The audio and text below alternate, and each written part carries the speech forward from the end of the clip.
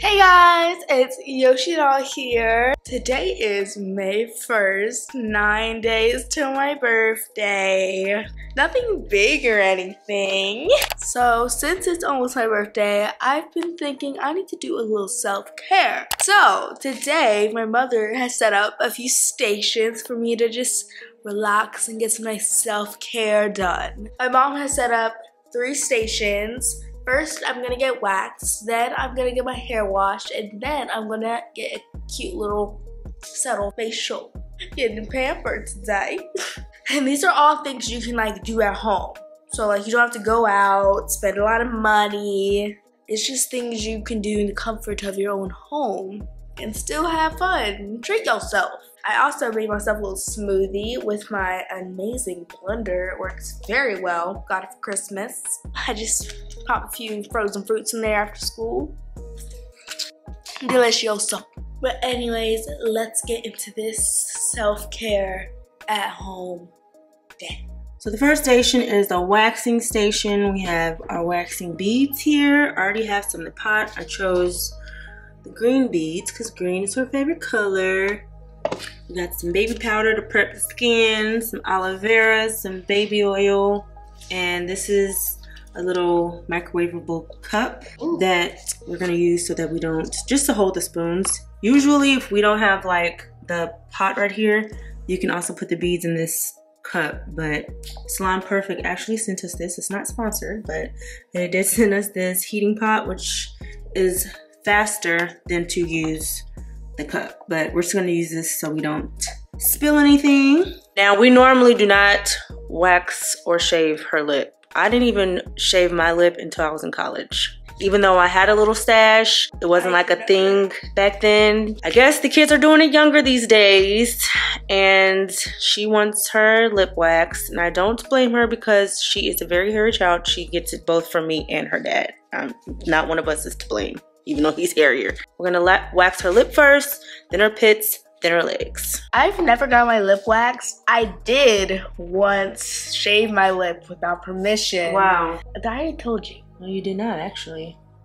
Actually. You never told me that you shaved your lip. Mom, once you were like, did you shave your lip? And I was like, I've never asked you if you shaved your lip. I asked you if you shaved your eyebrow before. I've never. Oh my gosh, you don't remember? No, Once we never were, told me that. We were on that couch, and you said, "Be honest, did you shave your lip?" And I was like, "Yeah," and you're like, "Don't do that without my permission." Don't remember that. Oh my gosh! I know you've done a lot of things without my permission, like shave your arms and your eyebrow, but I never. I never shaved my eyebrow. I, was actually looking at them at school. I was like, you, maybe she can wax my eyebrows too. No, you're, now you're taking away. They're bushy. All right, but you gotta be still. Go ahead.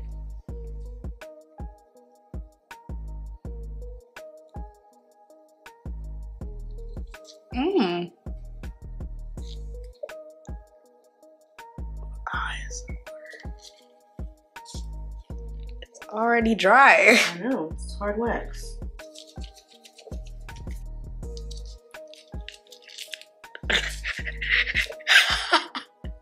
oh, oh my god, I feel naked. My lips.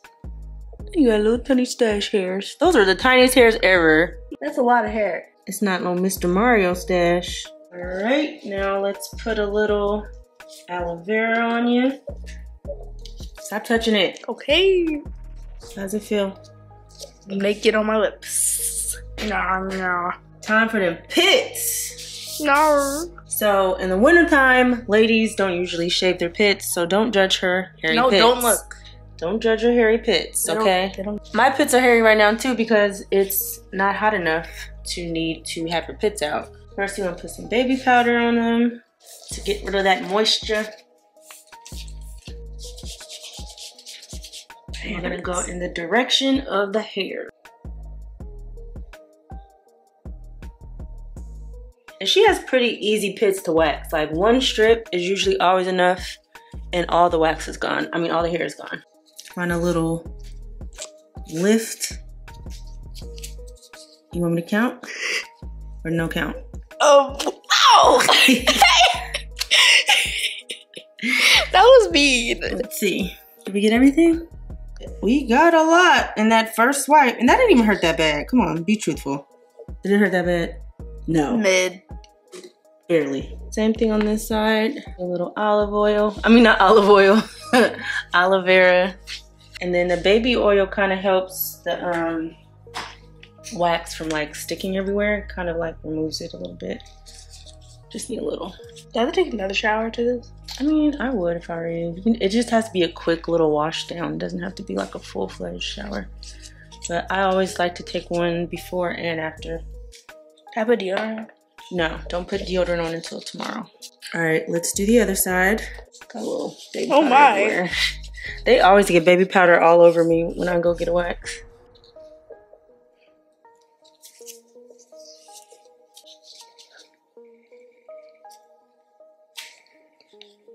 Be still.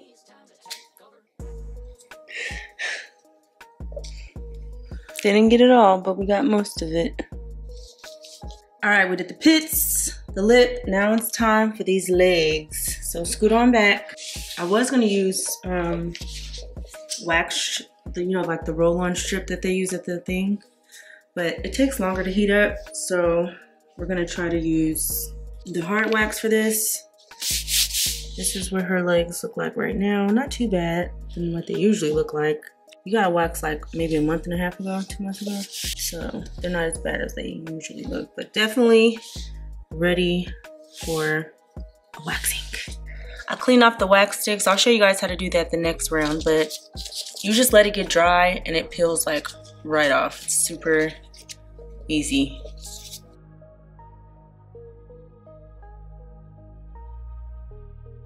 And you can't pull it off before it's ready, otherwise you'll make a mess.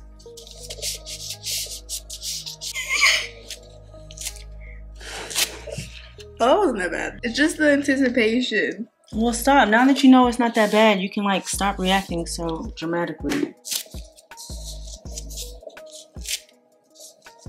It's like you're tearing the black off me. You're just gonna ask you.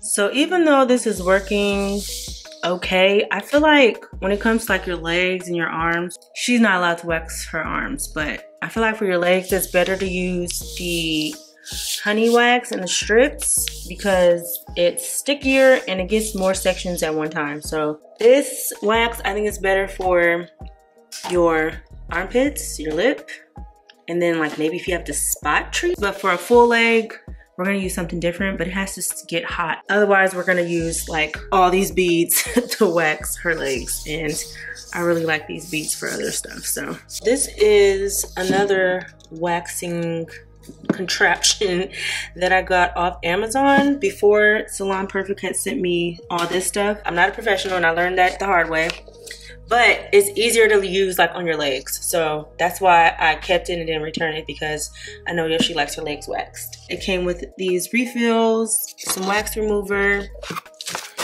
some strips and this is the cartridge you use to hold it because it's hot when it comes out. So it has to be at a good temperature. Can't be not hot enough or too hot. So it's kind of a little trickier to use, but you always can use test areas.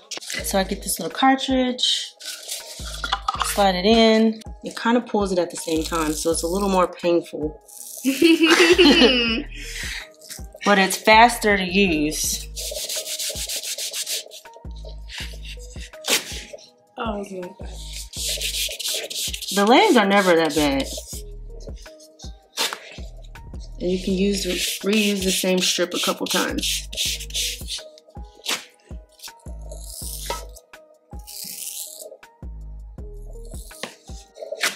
She's being so dramatic. Look at her reactions. This little piece.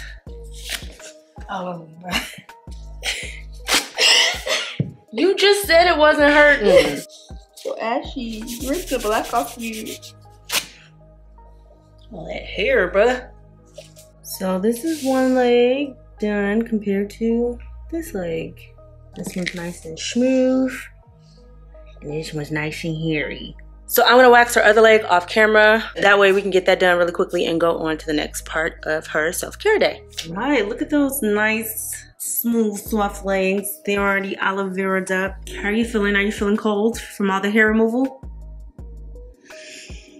Oh, she's still a little angry at me. She'll get over it. So Yoshi has been getting breakouts on her forehead. I think it's from the edge control that we've been using. So I'm gonna kind of not use it for a couple of days and try to use something else because she's getting these little tiny, you can actually see it now, these little tiny bumps. But they go away like in a day when she uses this wash that I'll show on the screen right here. We got recommended to it from her TT because the baby used it when she had like baby acne and it worked really well. So anytime Yoshi uses it, it goes away, but it keeps coming back because we keep irritating it with the same product. So that's why we're gonna get her hair washed and get it all the way out her hair and give her a full on, you know, facial so that her skin is cleansed we can keep the bumps away. So we're gonna switch it. We're gonna wash her hair first because I don't wanna give her a nice clean face and then her hair's dirty. Like, let's make it make sense. Speaking of her hair, she has very bad dandruff. I really need to take her to somebody who can like really tell me what's going on with her scalp because she's had it for quite some time as far as like her scalp getting really thick and dry patches. Let's see if we can find one today. So you can't really see anything right now because like just the other day I scratched it all out and greased her scalp. But usually like on her scalp, it's like a cake, like a thick piled up dandruff and she's always itching her hair. She can't wear braids for a long period of time because even keeping her scalp moisturized, the braids just irritate her scalp even more if they're in for too long. It's its own little world up in here and it gets really bad sometimes. Like this is actually light. So I Amazoned what to do for anti-dandruff. This came up as the number one recommendation. It's not sponsored. I'm not promoting them because I've never used it, so I don't even know if it's gonna work on her. But this is what we're gonna try today. It's supposed to control flaking, scaling, and itching from dandruff and the fungus that can cause dandruff, which I definitely believe she gets a fungus that causes dandruff because her her little lymph nodes right here, nodes, lymph nodes, they get swollen and that's a sign of infection and she won't be sick at all. But her hair will be really bad. So she has like one of those heads that need extra help and support. So you lay that big old head on back. We do wash hair in the sink because we are a black family. I need to get her one of those sink pillows, but they're like a hundred dollars. I'm like, girl, if you don't lay on this towel. I was gonna try Sulfur 8 like I did when I was a kid, but we're gonna see what the new new is working with. She does have high porosity hair, I believe that's called, when like your hair stays dry. No matter how much you moisturize it, deep condition it, it stays, it just sucks up the moisture and feels like you did nothing. So I've been told that heat is the best thing for that. So Yay. I need to buy her a hair steamer and start doing a lot more hot treatments as opposed to like just letting it sit on her hair.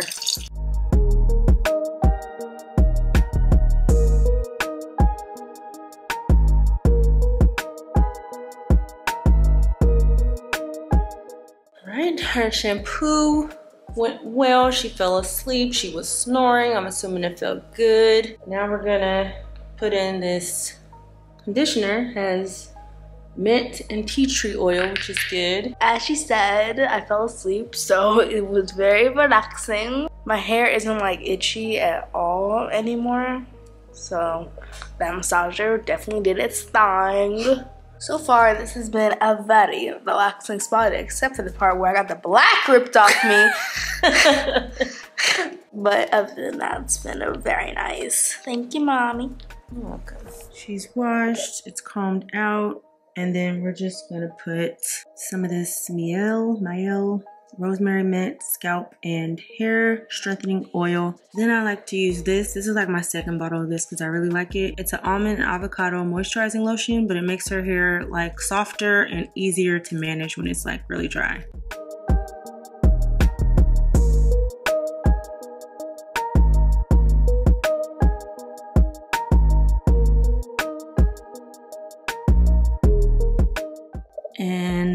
scalp's all moisturized, she has a little hair lotion on it. I'm not gonna put anything else on it just to let her hair breathe a little bit. And we just put in a little messy French braid. On to our mini little facial station. All we have here is a face steamer, which she's gonna do first. This is her avocado face wash. We have it in here because we have a really jumbo bottle So I put it in here so it's easier for her to use daily and night. She uses this at morning and at night. Then after I wash her face, I'm gonna give her some little eye patches to hydrate under her eyes, a little lotion on, and she should be feeling real good after that. Does it feel good? Mm-hmm. I have it. Girl, I'm so serious. I mean, you live here, so like you can't have it, but can you use it? Clearly. Okay, I would say your pores are nice and open. You can go ahead lay back on this little blanket right here. but it feels so good. I know, honey. You can do it at the end, maybe. I can't give you a full facial because the goal today is just to get rid of these little tiny bumps.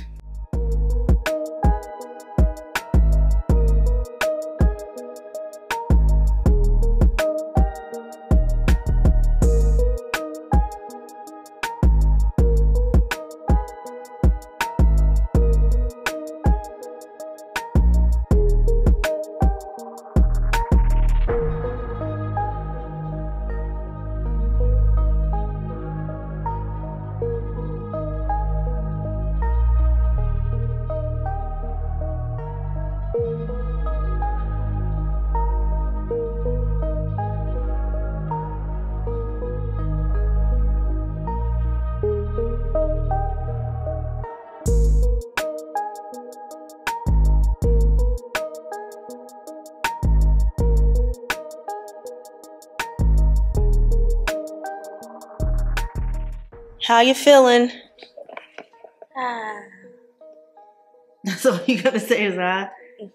That's good. That's how you're supposed to feel after self-care day. All right, now while she's relaxing and you know taking it all in, I'm gonna get dinner ready, and she'll be able to end her beautiful self-care day with a great meal, one that she requested. So let me get that started.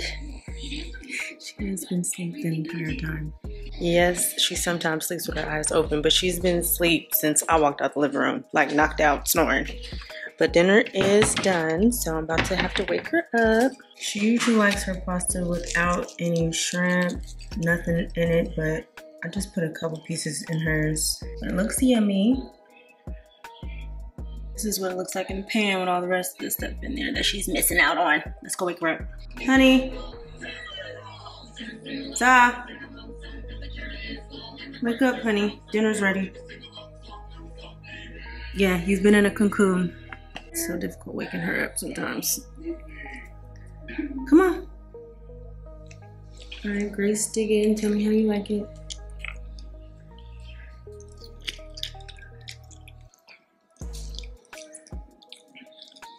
Good. Nice. Enjoy. I hope you guys enjoyed. I know I did. My relaxing spa self care at home day. Hopefully, I get to do this stuff like more often. As you should. Yeah, treat yourself. Can't wait for my birthday, and I'm going to be all refreshed for it. But that's all for now. So you know what I'm about to say. Yoshidoll, Yoshidoll, Yoshidoll, God. Yoshidoll, Yoshidoll, Yoshidoll, God. Love ya.